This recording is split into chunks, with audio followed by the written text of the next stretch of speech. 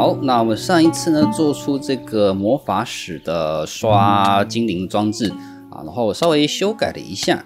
让它这个用盔甲架，因为它算是 entity 嘛，然后互相这样子传送，会比之前丢东西还要更加稳定。因为你丢物品的话，你还要担心它会不会消失，而且玩家靠近的话会被捡起来，而且物品的话很不稳定，会乱喷。可是我发现这个盔甲架的话就不会了，它非常的工整，呃，它刚刚好传送到那个正中心的点。所以使用这个盔甲架之后呢，我的这个魔力值就非常稳定的成长，现在已经到八千多了，速度真的非常快。然后另外一个我发现可能就是必须要玩家在这边挂网才会有真的精灵在这边诞生啊。对，因为上一次玩那个新版本已经很久以前了，所以我依稀记得好像的确是这样子。就是你要待在这个地方，然后你的魔力不能满，就是至少要有空缺，然后有其他形式魔法情况下，我们的精灵就会明显的增长。所以我们有了足够多的这个精灵精华，我们就可以做这个东西呀。我就做这个叫 Mana Circuit Circuit Circuit。应该是这样吧，这个话就是比较大型版本的电池啦。有了这个之后呢，我们就可以储存十万点的魔力到里面去。那这个主要用途话就是就是装置型的电池吧。如果我们这个地方的附近啊有需要用到魔力的东西，你就可以把它切换成启动。这样子的话呢，它消耗魔力的时候也会从这个地方取用。这样子，好，那我们上一集呢有说要来做一些附魔术的东西嘛？因为我们有一个东西就是这个，它会消耗耐久度，所以我希望要有经验修补，这样的话就可以一直使用它。啊，那我本来说要靠村民嘛，但是我后来意外发现，我们其实有个更简单、更 OP。更无脑的方式可以来刷这个附魔术，所以我们今天就来设置一下吧。就是呢，一样靠我们的 Ancient Warfare 模组啦，因为它有一个 Fish Farm 钓鱼机这种东西啊，所以我已经先设置好一个类似钓鱼台的东西。哎呀，钓鱼台，渔港。啊，就是专门来钓鱼的地方。可是呢，这个钓鱼不是靠人力，而是靠机器。那我们要把它怎么放置嘞？可能放在这个地方吧。只是呢，我会需要一个辅助。喂喂喂喂，对，我们设置好。然后呢，它这个话呢，呃，它的平面范围一样是可以扩充的，主要是它往下可以到很深。最深可以到这么深，那它往下是没办法扩充那个深度的啦。但是我们可以用这个，哎，就直接把它延伸到十六乘以十六的范围，这样子应该是最大。然后调整一下它这个位置，这样子，然后确认一下我们这个框框有完整的包到所有的水方块，没有其他的任何其他方块阻挡。那这个水的深度的话呢，就是影响它的工作效率啦。水深越深，那它这个钓鱼就刷新的速度会越快，所以当然就是越深越好。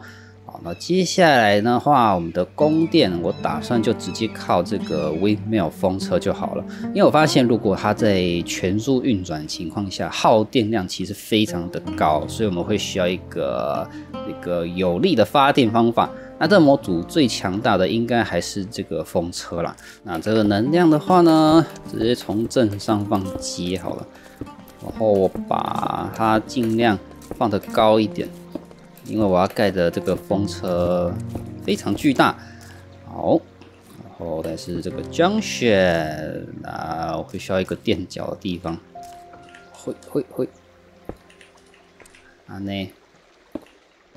风车就朝这个方向吗？其实它这个风车要怎么放？是这样放？哎，对，这样放。好，然后哎，我要打算盖最大 size 的这个风车，十七乘以十七。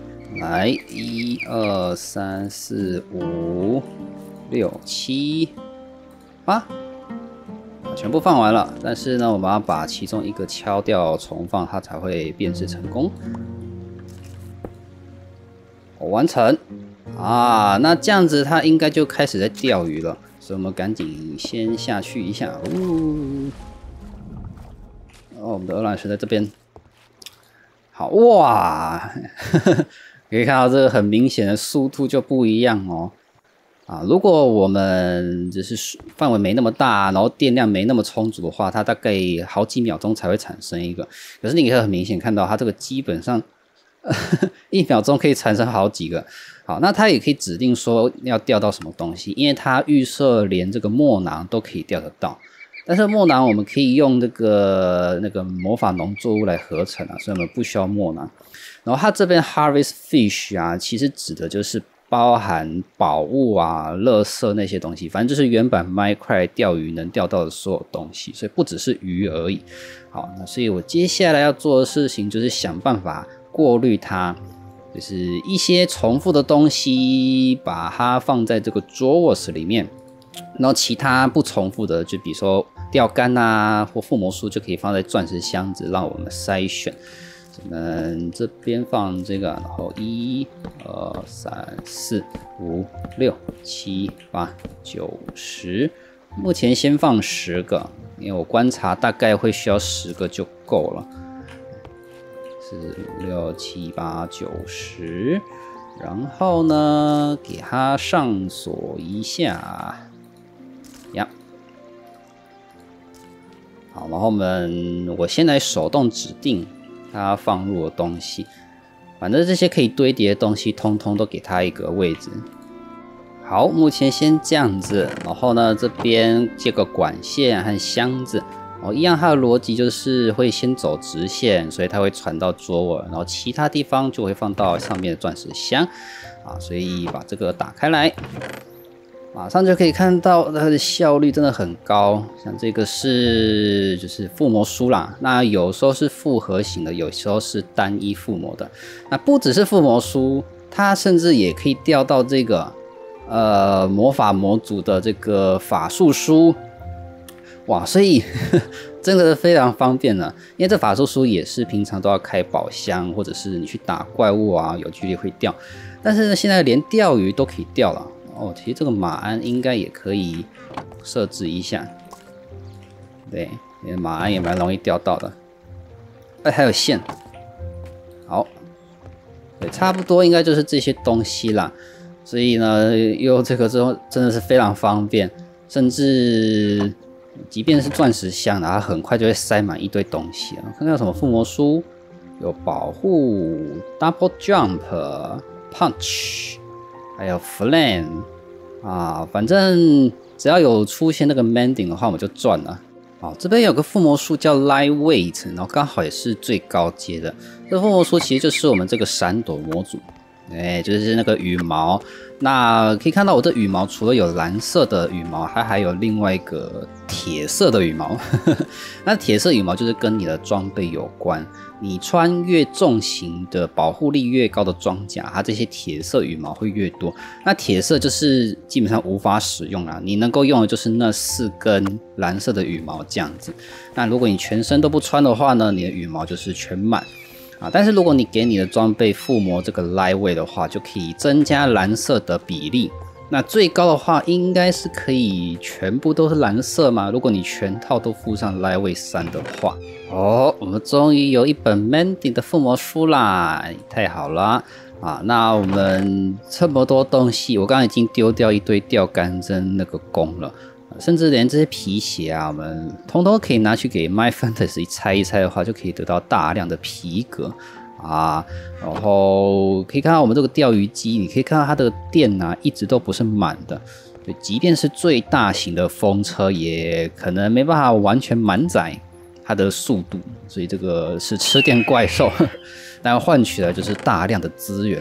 哎呀，这个其实已经超越了很多其他什么科技项或魔法项模组的钓鱼机的效率了，真的是非常夸张。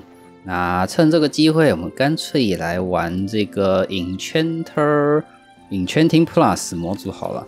啊，其实原版附魔台的升级的模组。但无法跳脱原版的附魔框架了，就是呃，一般原版附魔附魔台附魔不到的东西是没有办法用它附魔的。好，所以然后一样，它也要摆上足量的书柜。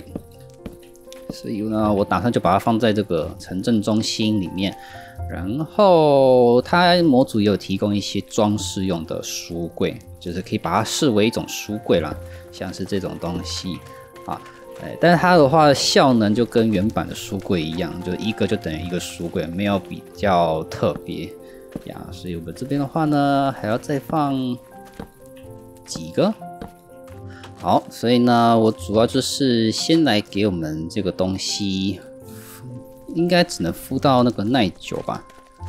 哦，不能放上去，所以它连附魔台都不给放，但是是可以附魔啦，所以它。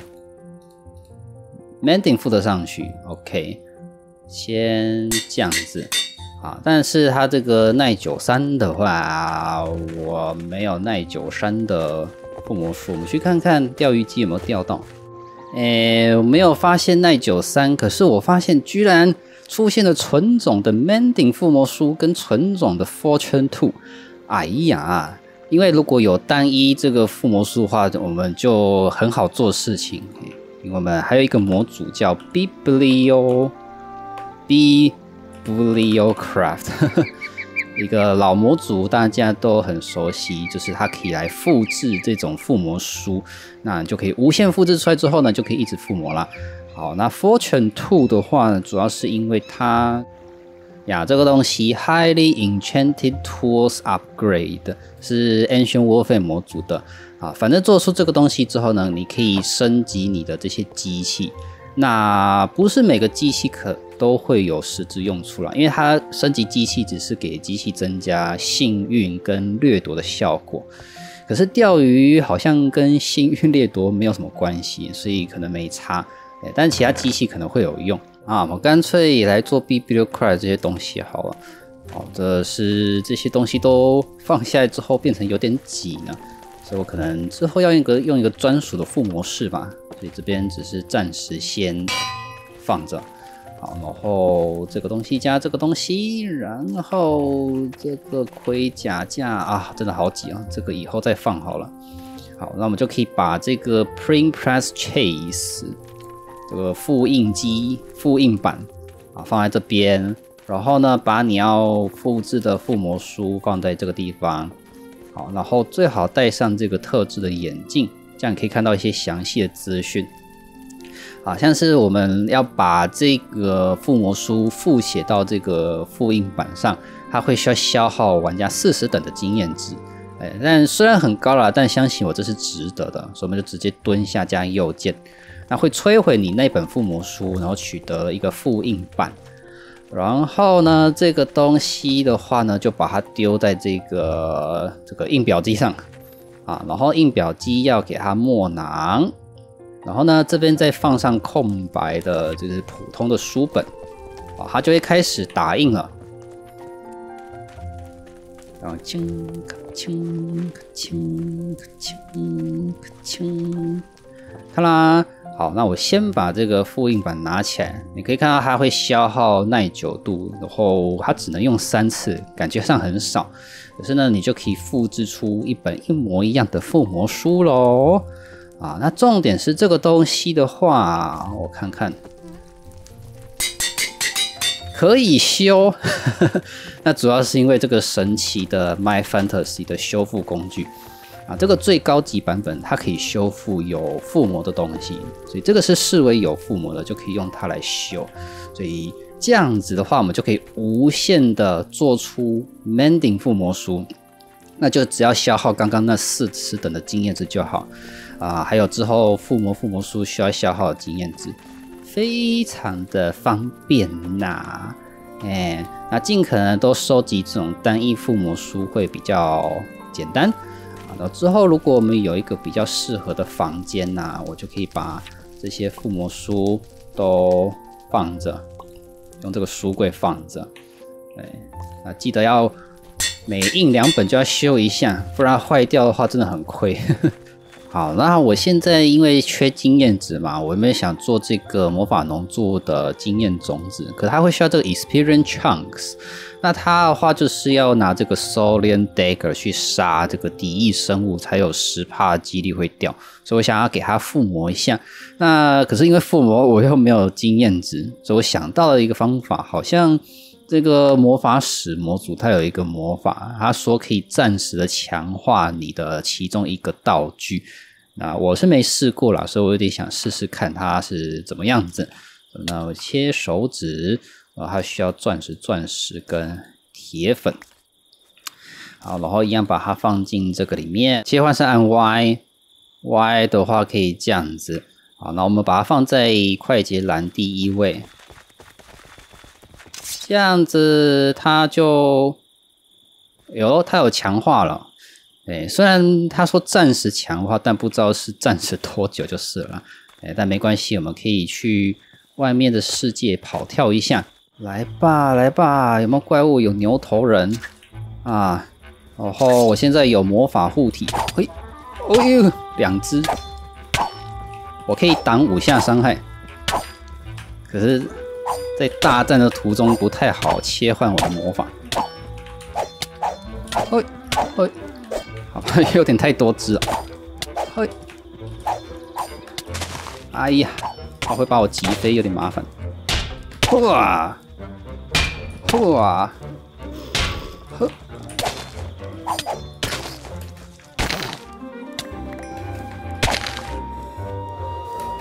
呵，哎，他还是强化状态吗？没有，我们用一次，然后这个也用一次，哇！经验修补直接修好修满，来吧，嘿。哎，两刀就砍死了，所以很明显感受到他有强化。一般来讲的话，他应不太可能两刀就砍死。Come on，一刀砍。哎，掉了吗？哎，有掉了，掉了，掉了，掉了。所以我们只需要四个就行了。那个好像是 Trophy，那个是冰与火龙模组的一种生物，感觉很强哎。哇！哎呀，They have a K Trove，看来高估他们的能力了。还有这个 Tromosi Column，它是 Legendary 的魔的的武器，好大一根啊！啊，我感感觉它攻速超慢的。超级无敌慢，感觉不是很实用。虽然它攻击伤害是很高了，我好像又意外发现一个很 OP 的设定哎！我刚刚给我的装备都附上这个强化，然后装备会暂时 unbreakable 嘛？理论上应该是要暂时的。可是呢，我刚刚跟这个龙缠斗了很久，旁边还有一堆怪打我，可是这个装备的那个强力效果都没有消失呢。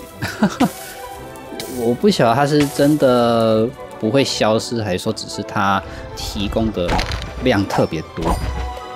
但就算这样子，我也觉得好 OP 哦，因为我的装备可以暂时间保持在最高效能，即便我的装备还没有给它做成那个完美不坏品质。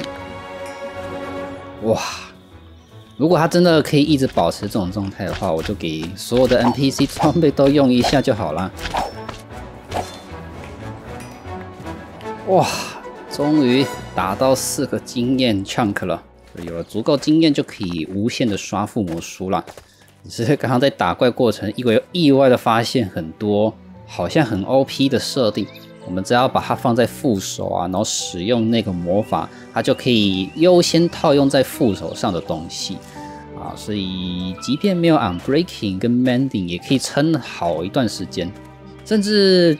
只要 mending 就好了啦，unbreaking 也不用了，因为你只要记得的时候，给他自己施展一下这个魔法，只需要消耗五十点的魔法，就可以让它无穷无尽的用下去。来来来，又有新发现了！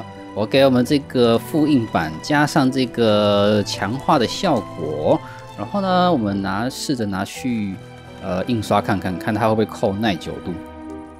好，印刷完之后呢，哎呀，居然没有扣耐久度呢！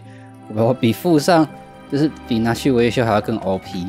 然后很有趣的是，我们印刷出来的附魔书居然还有 Unbreakable 的这个词条啊，原本是没有的，然后后来就多了 Unbreakable，但是它实际上看起来应该是可以。